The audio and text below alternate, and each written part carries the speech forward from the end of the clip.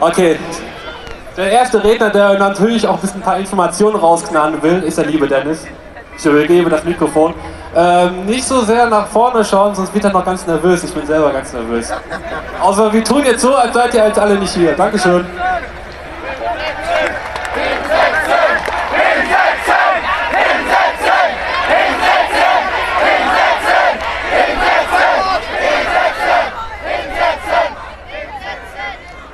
Ja, ähm, ich bin der Dennis Deutschkämer, stellvertretender Bundesvorsitzender der Piratenpartei. Und da wurde auch so gesagt, ja Mensch Dennis, du hast doch schon mal vor Leuten gesprochen.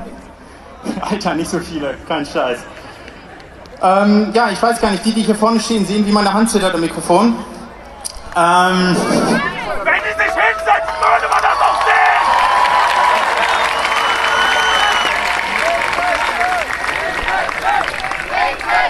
Und das, was wirklich am überwältigsten ist, das ist diese, dass ihr hier alle seid. Also so unglaublich viele Menschen.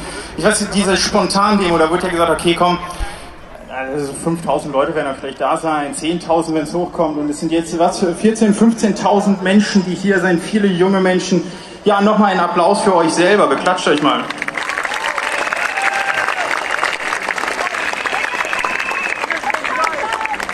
Ja, ein großer Dank, ich hoffe, ich halte hier nicht zu sehr. Ein großer Dank geht äh, aber auf jeden Fall noch an dieser Stelle an Julia Reda. Die Ehrenjulia höre ich hier gerade. Und ähm, die unglaublich viel Arbeit, fast so Menschliches im Europäischen Parlament vollbringt, äh, teilweise eben auch die Dokumente äh, nach draußen liegt. Wundervolle Arbeit. Und von mir aus nochmal an dieser Stelle sehr, sehr, sehr, sehr, sehr großen Dank. Vielen Dank, Julia.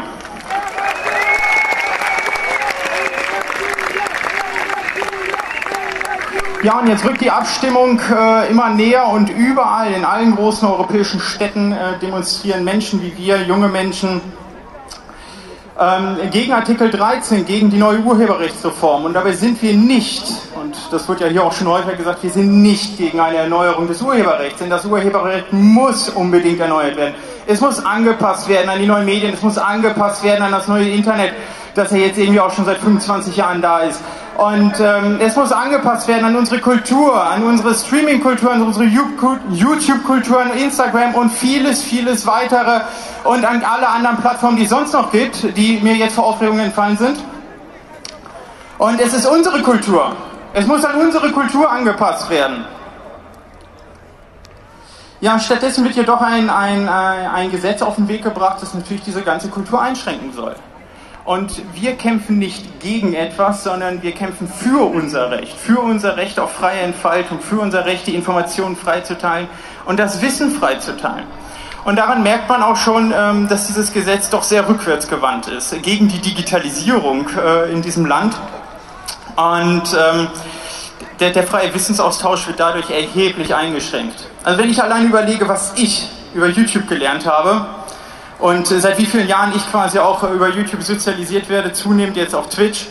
Und ähm, von daher, dieses, diese Informationsquellen möchte ich nicht mehr missen. Ich möchte eure Informationen nicht mehr missen. Vielen Dank an dieser Stelle.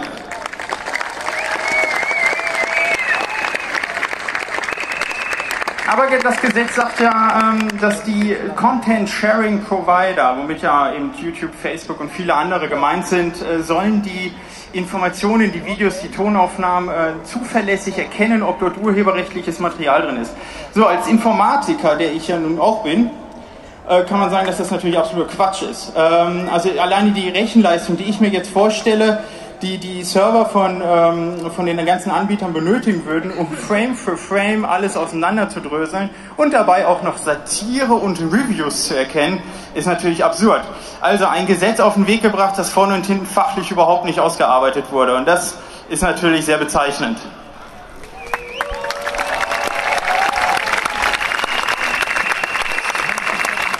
Bezeichnend ist aber auch, und jetzt nenne ich mal einfach den Namen des äh, politischen Gegners vielleicht. Ihr habt alle den Tweet der CDU gesehen, nehme ich an, ne? Wo sie uns das Internet erklären wollten. Wo sie uns erklären wollten, dass Google doch ganz zuverlässig Memes herausfiltern kann. Und ähm, was eben hier auch sehr schön ist, dass selbst die Social Media Abteilung des europäischen, also der CDU im Europaparlament noch nicht mal Ahnung vom Internet hat. Also das, was ist denn das für eine absurde Kiste? So, jetzt muss ich ja gerade mal weiterblättern.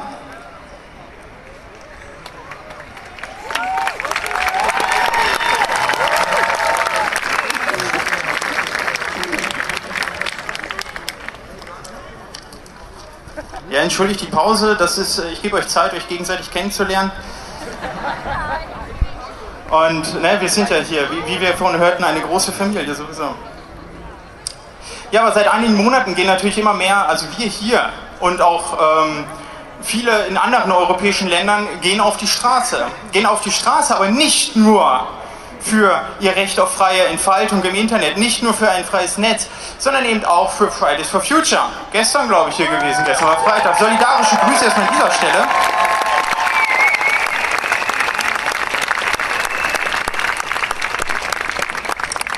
Und das wirkt ja gerade irgendwie alles ein bisschen, ein bisschen grotesk. Ne? Also als würden, äh, würden viele, viele alte Leute einen, einen Kampf gegen die Jugend führen. Und ich äh, kriege dann immer wieder zu hören, also da ich ja eben auch sehr politisch aktiv bin, ja, das sind die Erstwähler. Die müssen jetzt ihre Hörner abstoßen wenn die dann verstanden haben, wie diese Welt funktioniert, dann werden die schon ziemlich äh, ruhig sein. Ja, das ist ziemlich scheiße, das von Letztwählern zu hören, ne? Und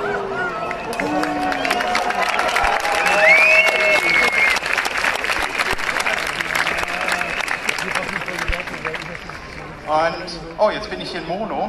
Ähm, und der natürliche Feind der Konservativen, das muss man ganz ehrlich sagen, ist der Tod. Und wir.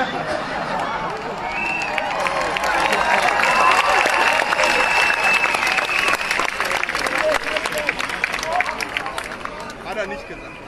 Und ich, ich bin jetzt seit über zehn Jahren aktiv für die, unsere digitalen Bürgerrechte. Über zehn Jahre, ach, schon viel länger quasi, 13 Jahre, seitdem ich 17 Jahre alt bin, Wolfgang Schäuble wollte damals die Killerspiele verbannen, vielleicht erinnern sich einige. Ähm, bin ich aktiv, gehe auch auf die Straße und ähm, es zeigt sich immer, dass sich dieser ganze Quatsch immer wieder wiederholt. Und wir müssen immer, immer wieder laut sein und wir müssen immer wieder Gesicht zeigen und das ist auch vielleicht gut so. Denn wir sind die Lobby für das Internet. Und wir sind die Lobby für unsere Kultur. Und wir sind auch die Lobby für unsere Zukunft und für unsere eigene Generation. Und wir müssen etwas verändern, denn die anderen werden es nicht tun.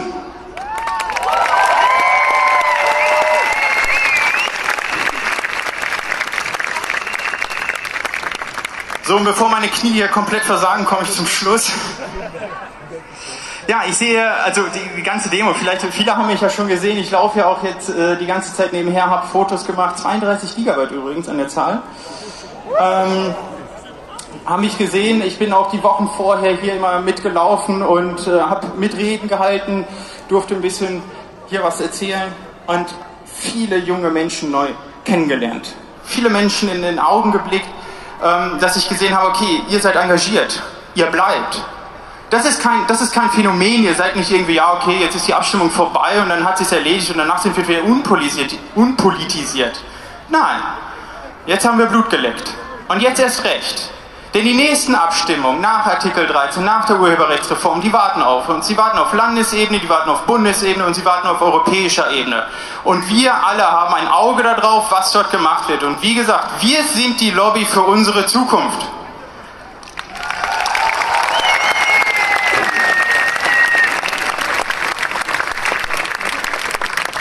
Ja, jetzt ist bald äh, mein, mein, letzter Satz hier quasi. Ähm, ja, wenn ihr am, am äh, wenn ihr wählen geht, und das solltet ihr alle, alle, die es dürfen.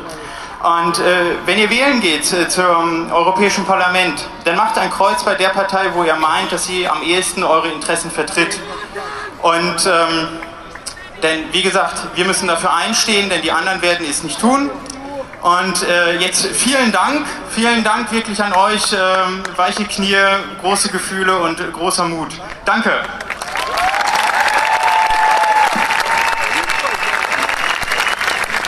Danke, Dennis. Sehr schöne Worte. Äh, er hat auf jeden Fall recht. Das ist, äh, was im Moment hier in Deutschland ist, ist es einfach, äh, die Jugend, die interessiert sich wieder für Politik und das ist wichtig, dass es jetzt so bleibt und nicht einfach wieder abflacht, sobald die Abstimmungen vorbei sind. Wir müssen einfach für unsere Zukunft weiterkämpfen, was mega wichtig ist, sei es für, habe ich eben